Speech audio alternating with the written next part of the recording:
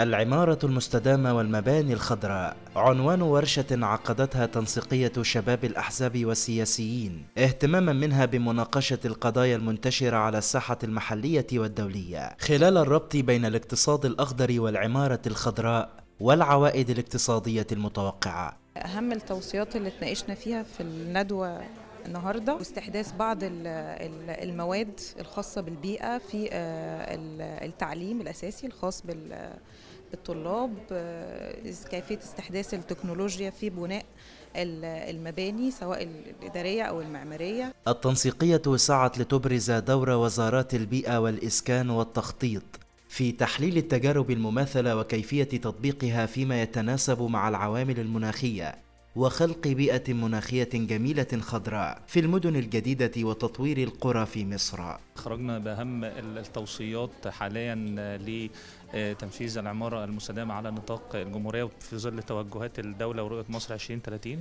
وهي إن إحنا بعض تعديل القوانين من خلال إن يكون في نظام تطبيق نظام تقييم للمباني الخضراء. جلسة كانت عن العمارة المستدامة ويمكن أهم التوصيات اللي طرحها الضيوف وأعضاء التنسيقية في لجنة المناخ إن ممكن يبقى في مجموعة بيئية على غرار المجموعة الاقتصادية بتضم مجموعة من الوزارات المعنية وكمان الخبراء في كليات الهندسة. خلال انعقاد الورشة خرجت التنسيقية بضرورة إطلاق سلسلة كبيرة من ورش العمل داخل مقرها. وبشكل يومي مع المتخصصين من كل التيارات والاتجاهات والتخصصات المختلفة لإبراز مدى أهمية التعاون بينهم لتحقيق ثراء مخرجات الحوار الوطني.